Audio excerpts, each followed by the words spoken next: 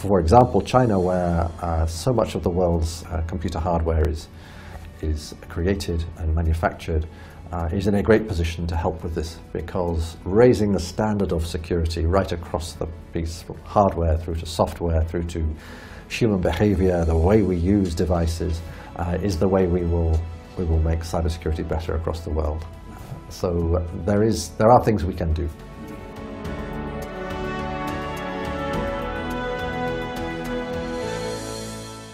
Particularly uh, UK, China, and US uh, are doing a great deal in um, counterterrorism together, uh, but also in cybersecurity increasingly together. So there is huge potential. The, the internet does not have any borders, uh, doesn't recognize boundaries really. So the more that countries can cooperate and can agree on common standards of behavior, uh, the easier it will be